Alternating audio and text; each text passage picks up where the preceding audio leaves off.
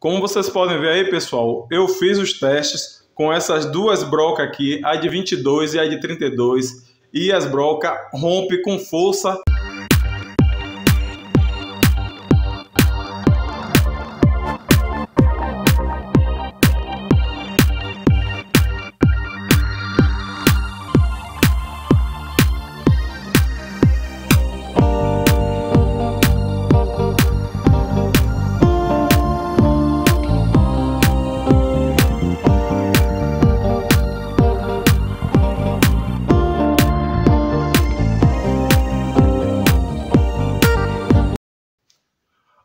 Olá, galera que acompanha meu canal. Bom dia, boa tarde, boa noite. Sejam todos bem-vindos. Inscreva-se no canal e deixe seu like. Galerinha, é com imensa satisfação que trago mais um vídeo aqui para o canal. Dessa vez, pessoal, eu vim trazer uma ferramenta que ela é sensacional. Isso ajuda bastante nos nossos projetos do dia a dia. Pessoal, eu já trabalho com essas ferramentas aqui constantemente e gosto do resultado. Só que, pessoal, tem ferramentas superiores, tá, pessoal? Por que eu falo superiores? Porque o que interessa para a gente nos projetos do dia a dia é o acabamento. E agora, pessoal, vim apresentar para vocês e fazer um teste no final do vídeo. É esse kit de ferramenta aqui, pessoal. Olha, pessoal, ela é da Bosch Self Cut ela promete ser 10 vezes mais rápida do que as brocas chatas convencional. Esse estilo aqui, ó, pessoal. Agora sim, por que utilizar essas brocas chatas? Porque, pessoal, ela é ideal para você ter um bom acabamento, certo, pessoal? O que você faz aqui com qualidade nessa broca aqui, nem sempre você consegue fazer com essa, nem com essa e nem com a serra copo, tá pessoal? Sem contar que vocês às vezes danificam a parte de baixo. E dessa vez aqui, pessoal, eu trouxe esse kit aqui da Self Cut Speed. Ele promete ser top, top da galáxia. Eu nunca utilizei, vou estar tá abrindo aqui junto com vocês, a caixa tá lacrada, tá pessoal? E eu, antes de abrir aqui, eu vou falar aqui para vocês as medidas que estão aqui. Vamos lá temos aqui 10 milímetros, 12 milímetros, 13 milímetros, 14 milímetros, 16 milímetros, 18 milímetros, 20 milímetros, 22 milímetros, 24, 25, 28, 30 e 32. Se você quiser acima de, dessa, dessa numeração, você pode comprar essa broca avulso. Ela vende. Eu preferi o kit porque sempre eu tenho projetos aqui diferentes de medidas. Exemplo aqui, se você quer instalar um botão desse aqui, um botão nesse estilo aqui, eu tenho um vídeo desse botão aí no canal, se você não viu, você pode ver lá. Vou abrir o paquímetro aqui e vou olhar qual é a medida que está dando aqui. Aqui, pessoal, está dando 15,78 milímetros. Então, para utilizar uma broca para fazer essa abertura, eu vou pegar essa aqui, 16 milímetros e vai sair um acabamento top, top, top. Eu quero instalar um rolamento desse. Como é que eu faço então? Eu chego aqui com o paquímetro, vejo qual é o diâmetro e estou vendo aqui que é 31,99, equivale a 32. Então eu venho aqui e uso uma 32. Tá bom, pessoal? Antes de prosseguir com o vídeo, eu só quero só dar o um exemplo para vocês. Temos esse botão aqui também, ideal para o nosso projeto. Quanto é que ele é? 19.11. Então, utilizamos um aqui de 20, tá? Como vocês podem ver aqui, temos aqui uma de 20. Aí você quer usar uma sinaleira. Vocês vêm aqui e tem uma de 15.70. Equivale a 16 milímetros. Então, vamos para a broca de 16. Só que esse kit aqui abrange bastante os meus projetos.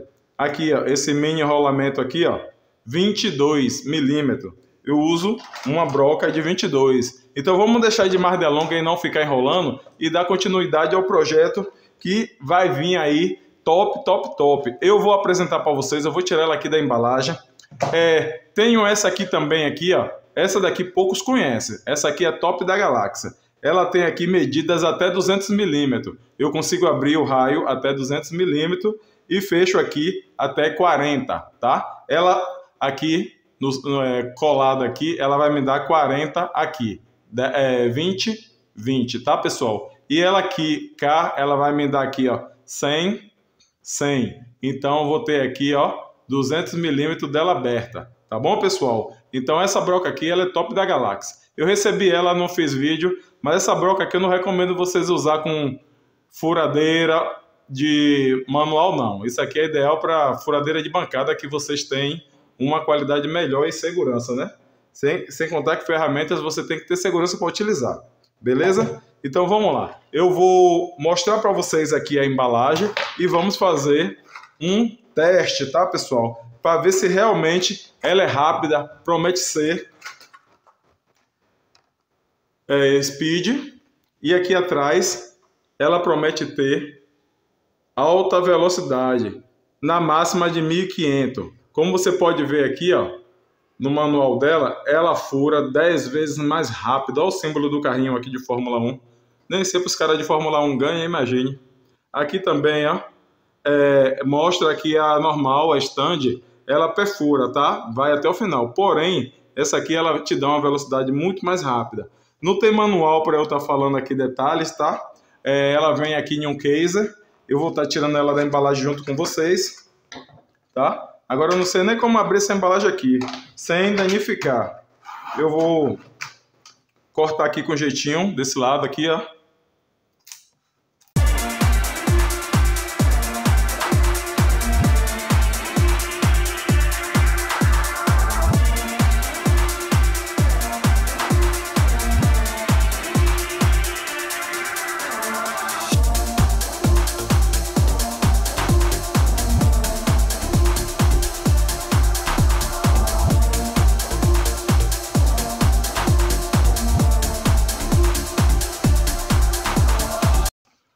Pronto, pessoal, estou com o estojo aqui na mão. Para guardá-lo, basta você fechar aqui e passar o carrapicho, tá? E aí você consegue guardar.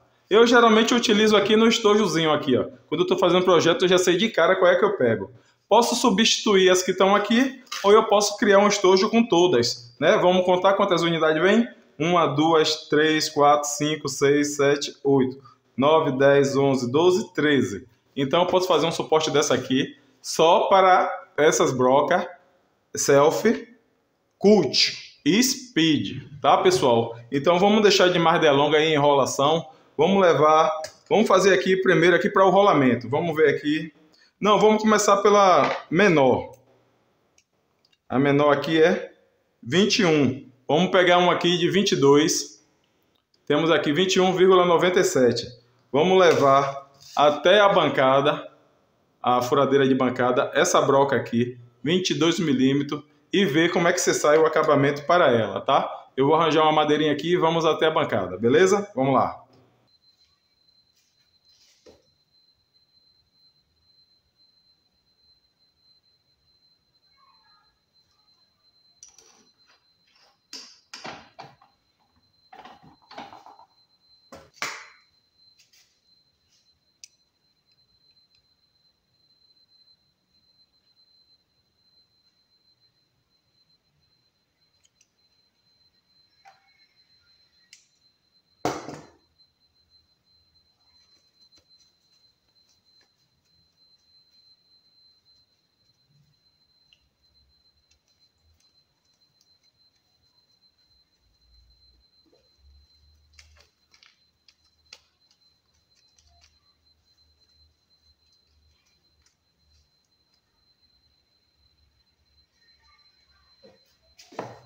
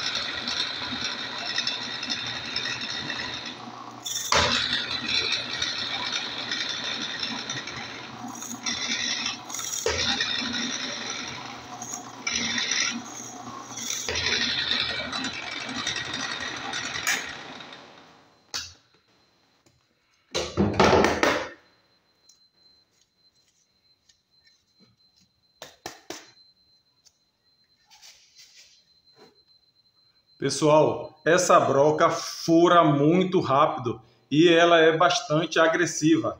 Pessoal, eu tentei fazer esse furo aqui, ó, mas eu já tinha tentado fazer o primeiro, eu cortei o vídeo porque ela deu um coice de ser muito forte. Eu vou mostrar de trás da madeira. Olha para aqui, pessoal. Eu fui tentar colocar ela só para passar. Ela foi, tentou pegar essa madeira aqui com essa grossura toda em alta velocidade. Essa madeira aqui, ó, tem 30, pessoal. Olha aqui o que foi que ela fez. De imediato, ela chegou, ó, meteu 28 só em uma piscada. Tentou destruir a madeira. Dessa vez agora, a mostrar para vocês, eu tentei fazer com cautela. Mas essa máquina, essa broca, ela é perigosa se não tiver cuidado para utilizar, tá, pessoal? Vamos ver aqui.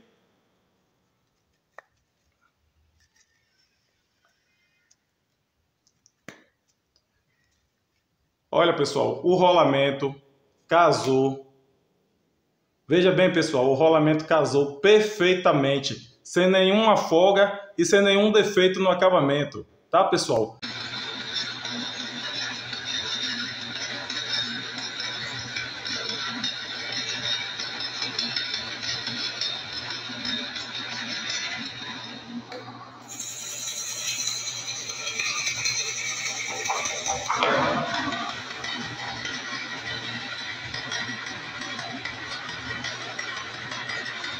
Agora vamos testar aqui uma outra para a gente estar tá finalizando, beleza? Aguarda aí.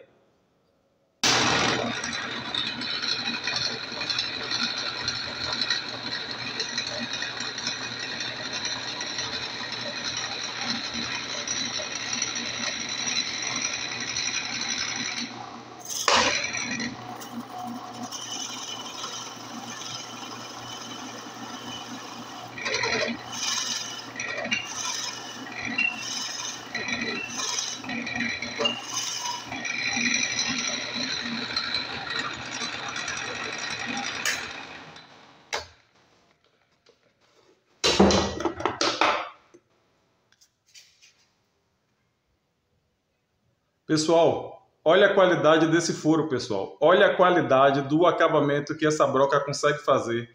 Eu gostei da qualidade. Vocês não estão vendo pessoalmente, mas no vídeo dá para você ter uma ideia que a qualidade tá top. Eu vou colocar o rolamento.